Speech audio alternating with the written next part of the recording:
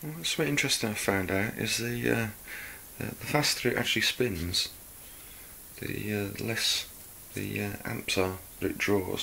So if I was to start this up now.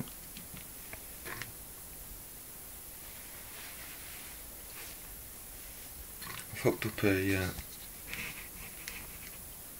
a neon to stop the uh, reed switch burning out. Right now uh, we've got it drawing. I'll wait for it to settle down a bit.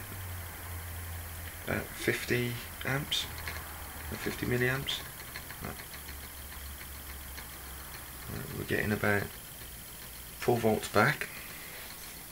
Now, when I move the coil in closer, the amps it draws actually goes down.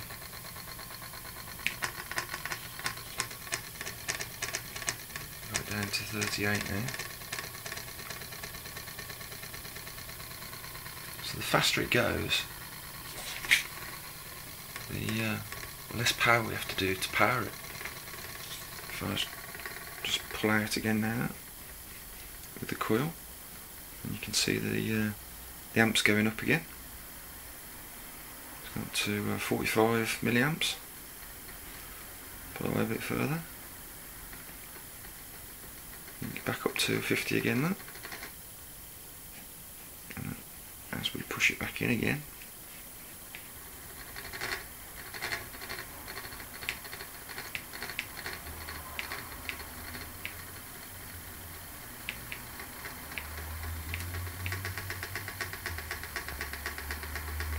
Get all down to 40 milliamps.